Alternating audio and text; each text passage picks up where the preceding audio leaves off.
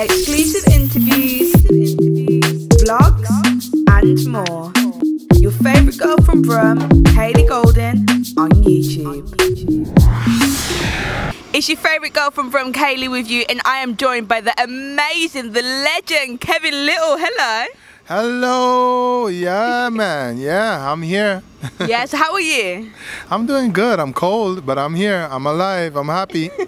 how do you find the UK? Do you like it here? Um, yeah, of course. Uh, the, UK is is very full of culture, full of diversity, and it's like it's like Manhattan with uh, how should I put it? Um, uh, uh, island vibe.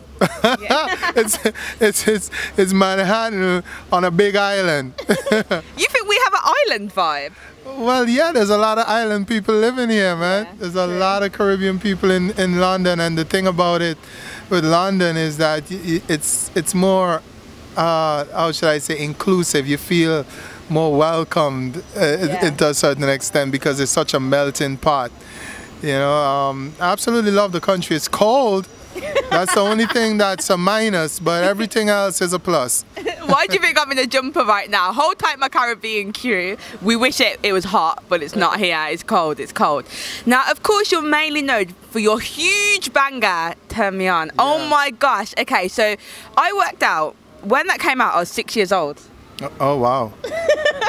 trying to make me feel old here right now. but I was six years old, but I play it out when I'm DJing and it goes off. All right. Well, that's what I like to hear. That's awesome. Yeah. So you can make sure you throw the Chris Brown in there. The the the, yeah. the um what's it called? Um, um girl, I got a question for, for you.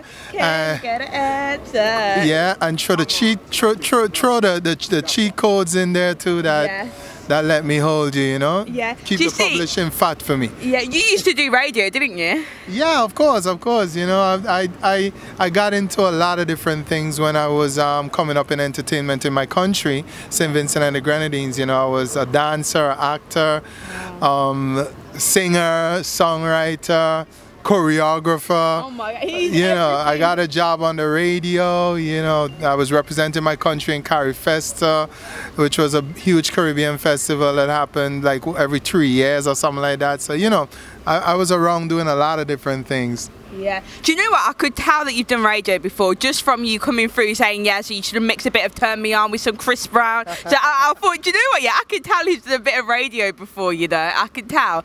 So what's it like having such a big tune that still survives so strong, like 15 years on? Um, you know, it, it has its ups and its downs.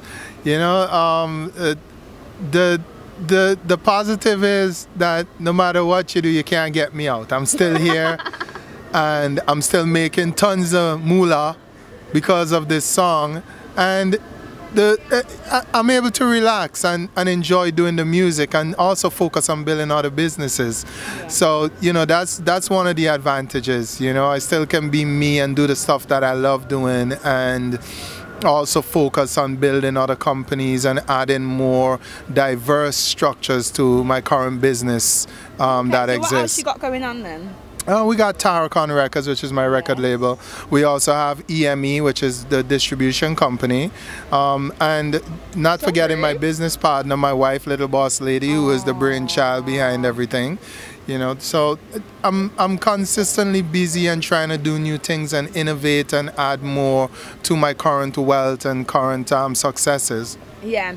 Well, talking about having a powerful woman next to you, I feel like while we're here, I've been in London for a while and I've thought there's a few London boys that don't know how to treat a lady. So how is the right way to keep a lady next to you being powerful, help you building that empire? yo, yo, there ain't no true or correct answer for that one, boy. You know, what they say, women are, men are from Mars and women are from Venus. it applies all around. Whether she's successful or she's not successful, it's gonna be a job. It's gonna work. be a job. It's gonna be hard work and you're gonna have to compromise a lot. Yeah. You know? Yeah. A lot of compromise. so that's the advice, okay, to keep your lady, okay? Because I think a lot of boys need that. Yeah. Yeah. Um, so amazing, you've got such a sick track that has came out. It's so nice to see that return. Tell me about how it came together. Mm, close to you, right? Yeah. That record was produced by Stadic. Um, Yeah. He is one of the biggest Caribbean producers right now for soca music. Yeah. He did Run With It um, for Mr. Killa, and um, of course, he did my song, among many others. You know, he's got songs in, in movies and stuff on Netflix and things like that. He, and he's from St. Vincent. Um, but he lives in Trinidad and has been working out of um, Bunji Garlin's camp also, been producing a lot of their hits there too. So, you know, um, he has been around and when I went in to, to work with him, he played the track for me and it was incredible. I was just like, yo, don't change nothing. I'm just to sing it the way it is. And the only thing needed doing was a writing of a second verse and I wrote that and got my little bit of publishing out of it. That was it. And, you know, the back vocals on the song is actually a lot more him than me. I just did some of mine to add some texture, make my voice blend up with his. But you know, he's an awesome producer and an awesome um, singer also. You know. Yeah. Yeah. The track is amazing. Now, is it hard, not hard to make a return, but when you've been like a bit quiet musically, is it nerve wracking to put out your next huge song? Well, for me, it's not really so much of a nerve-wracking thing. It's just about just constantly putting out new music and keeping my fans entertained. Yeah.